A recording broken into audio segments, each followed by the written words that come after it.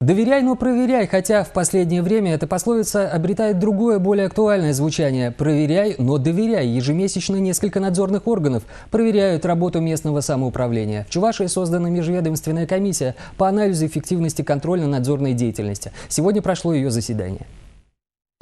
Работа проверяющих не из простых. Надо не только выявить нарушения и выписать штрафы, но и сделать так, чтобы не отбить у проверяемых охоту работать дальше. После того, как за бизнес вступился президент страны, количество проверок в адрес предпринимателей уменьшилось. А вот органы власти по-прежнему под постоянным контролем.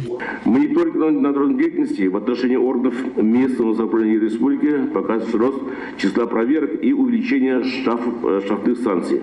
В среднем на один район или город приходится 13 штрафов на сумму 90 тысяч рублей. Наибольшая доля штрафов была наложена представителями Государственного пожарного надзора, Главного управления МЧС России по республике, УФАС России по республике, Управлением Роспотребнадзора по Чувашской республике и органами прокуратуры.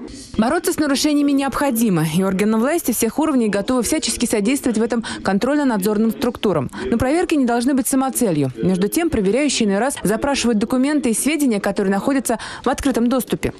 На наш взгляд, чрезмерное количество проверок, запросов и проставления, нередко формальных и э, проводимых для галочки и для улучшения статистики, существенно осложняет работу органов местного самоуправления. У столичной администрации контрольным органам свои претензии. Порой по итогам проверок организации должны выполнить то, что не входит в их компетенцию. А некоторые предписания просто невозможно выполнить в срок. Например, нанести дорожную разметку зимой. За неисполнение, по словам Леонида Черкесова, администрация города выплатила штраф 24 тысячи рублей. Рассказал глава города и о длительной судебной борьбе между администрацией города и УФАС. За 2012 год антимонопольным органом в отношении администрации города возбуждено 78 дел. Из них 23 решения УФАС по Чувашской республике признаны арбитражным судом недействительными. Две жалобы администрации удовлетворены частично. В стадии судебного разбирательства находится 24 дела. Шесть дел прекращены антимонопольной службой в связи с отсутствием конкретных отношений и три приостановлены. 14 предписаний подлежат исполнению, 4 из которых исполнены. Уже за первый квартал 2013 года возбуждено 23 дела.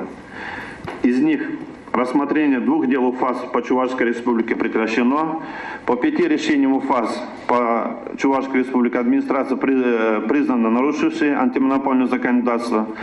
16 дел находятся на рассмотрении УФАС по Чувашской республике.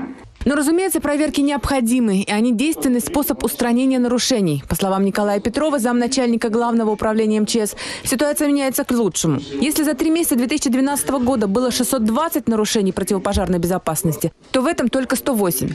В прошлом году 35 лиц привлечены к ответственности, в этом 5. Основные нарушения – отсутствие инструкций, неготовность к приезду пожарных машин, где-то не проводится обучение. Руководитель управления Роспотребнадзора по Чувашии Надежда Логовская констатировала, что за первый квартал 2000 2013 года территориальными отделами управления проведены три внеплановые проверки в отношении органов местного самоуправления. Из них две по исполнению ранее выданных предписаний обязательных требований, один по обращениям граждан. Татьяна Молокова, Евгений Анисимов, Республика.